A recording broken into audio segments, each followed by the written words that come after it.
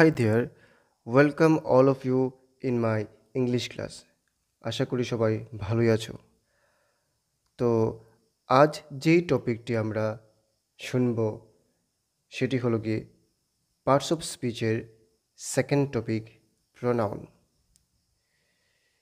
তো এর আগের ক্লাসে আমরা শুনেছিলাম নাউন কাকে বলে এবং তার ক্লাসিফিকেশন আজ আমরা পড়ব প্রোনাউন তো what is pronoun a pronoun is a word used in the place of a noun তো আমরা আগেই জানিয়েছিলাম যে প্রোনাউন কাকে বলে?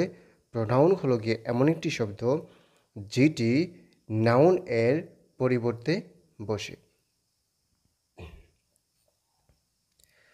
তাহলে চলো আমরা জেনে নিই কাইন্ডস অফ প্রোনাউন প্রোনাউন কত প্রকারের হতে পারে? There are various kinds of pronoun. Here, I mention some of them. দেখো, আমরা যদি ইংলিশটাকে বাংলার সাথে কো কো রিলেট করে পড়ি, তাহলে আমাদের শেখাটা আরও অনেক ইজি অ্যান্ড মজার হবে তো চাহ,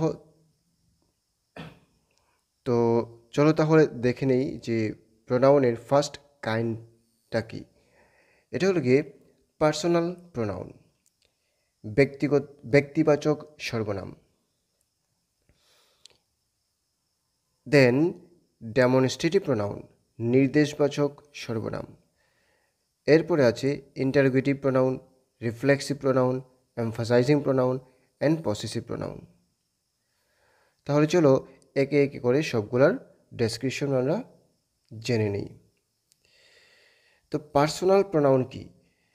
এটা হলো গিয়ে ব্যক্তিবাচক pronoun a pronoun that stands for person or thing is called personal pronoun তো পার্সোনাল প্রোনাউন কোনগুলো হতে পারে? যেমন I we you he him she her it they them তো এখানে পার্সোনাল প্রোনাউন এর কয়েকটি পার্ট হলো গিয়ে যে যেমন আমরা বলতে পারি ফার্স্ট পার্সন পার্সনকে যদি আমরা আবার ডিসকাস করি, তাহলে ফার্স্ট পার্সন আছে। ফার্স্ট পার্সন কোনগুলো হয়? আমি সম্বন্ধীয় যেগুলা, যেমন আই মি মাইন এগুলো হতে পারে। তারপরে হলো গিয়ে second person second person second person কোনগুলা? যেমন সেকেন্ড পার্সন অনলি ইয়ো হয়। অ্যান্ড ইয়োর্স আমরা বলতে পারি। পসেশনে গিয়ে। তারপর আসছে থার্ড পার্সন এখানে আমি আর তুমি সম্বন্ধীয় বাদে বাকি সবগুলো হলো গিয়ে থার্ড পার্সন যেমন কয়েকটার এক্সাম্পল যদি আমরা দিই he she it Ram, Meera, এই সবগুলি হলো গিয়ে থার্ড পার্সন তাহলে চলো আমরা তৃতীয় দ্বিতীয় নাম্বারটি দেখে নিই। ডেমনস্ট্রেটিভ প্রোনাউন ডেমনস্ট্রেটিভ কথার অর্থ কি? নির্দেশ বাচক বা নির্দেশক সর্বনাম, যেটা আমরা বলি।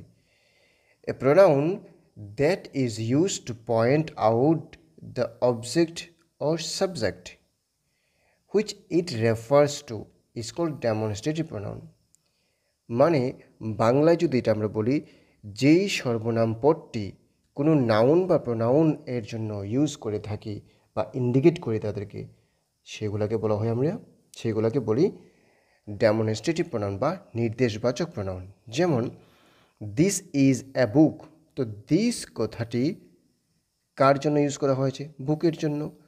তো এখানে দিস হলো গিয়ে নির্দেশক প্রোনাউন সেমভাবে দিস আর বুকস তো এখানে এইগুলি হলো গিয়ে বই। তাহলে দিস কথাটি ই এস কথাটি বুকস এর জন্য ইউজ করেছি। সেটা ডেমনস্ট্রেটিভ প্রোনাউন এমন that is a chair those are books এগুলো এরকম ডেমনস্ট্রেটিভ প্রোনাউনের এক্সাম্পল হতে পারে। তারপর ছিল নেক্সট আমরা জেনে নিই ইন্টারোগেটিভ প্রোনাউন কোনগুলাকে আমরা বলব। যেমন we can see the following sentences. যেমন হোয়াট ডু ইউ ওয়ান্ট তুমি কি চাও who is knocking the door কে দরজায় নক করছে হোম ডিড ইউ মিট তুমি কার সাথে মিট করেছিলে সাক্ষাৎ করেছিলে তো এই যে হোয়াট হো হোম এই ওয়ার্ডগুলি কেন ইউজ করা হয়েছে?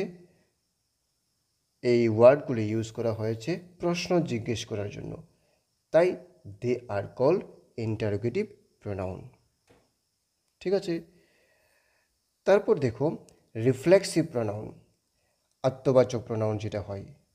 যেমন in the same way we should see the following sentences যেমন আই এনজয়েড মিসেলফ আমি মজা করেছি নিজে নিজেই myself we enjoyed our self she enjoyed her self এই যে আমি নিজে নিজে মিসেলফ আয়ের জন্য মিসেলফ হুইর জন্য আওয়ার সেলফ শির জন্য হার সেলফ এইগুলা কি?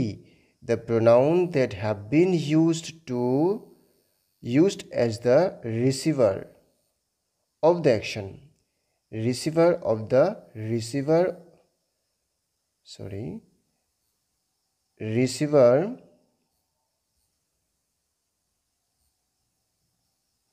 receiver of the action, myself, ourself, and herself.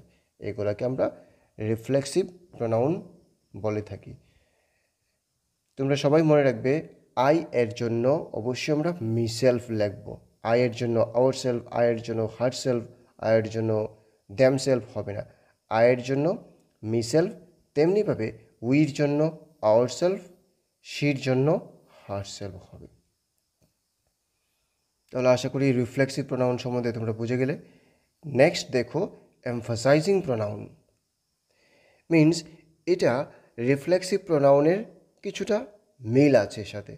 যেমন I myself saw him coming means emphasizing pronoun হলো গিয়ে ওই প্রোনাউনটার মধ্যে একটু মানে একটু জোর দিয়ে কথা বলা। যেমন আই মিসেলফ আমি নিজে নিজেই আমিই দেখেছি। শি হার সেলফ সে নিজেই টোল মি সো আমাকেই বলেছিল।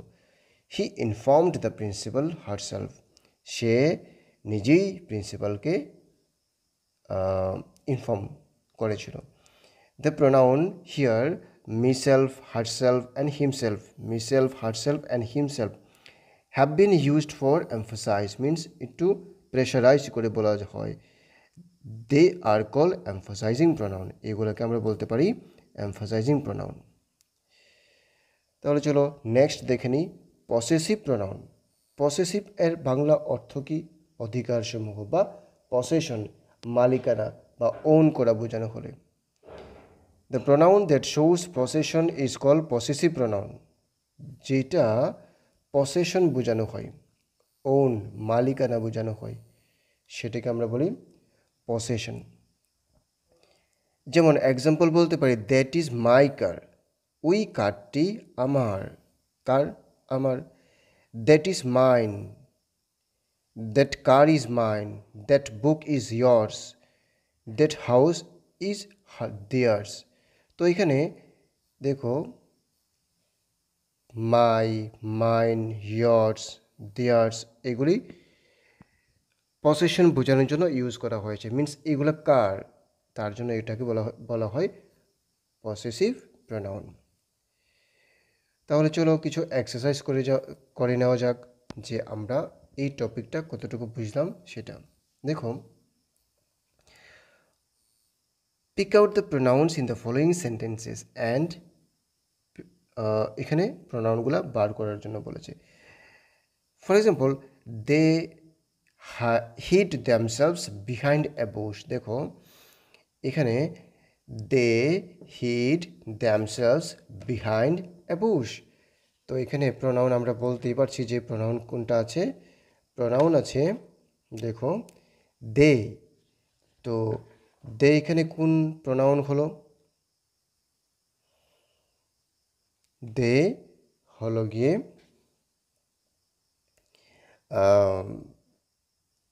পার্সোনাল প্রোনাউন দেমসেলভস কি দে দেমসেলভস হ্যাঁ either it is a reflexive pronoun or a emphasizing pronoun so in this way you should do this and make sure that you should make give comments or put comments in the link below ঠিক আছে তারপর দেখো there are some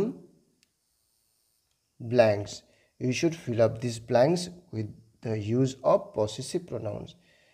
যেমন this is my car my room তো এখানে আমরা কি বসাতে পারি? দিস রুম ইজ মাইন কি বসাতে পারি? Mine this room is mine this is our pet this pet is ours ঠিক আছে? এভাবে তোমরা বাকিগুলো করে কমেন্ট বক্সে কমেন্ট করতে ভুলবে না।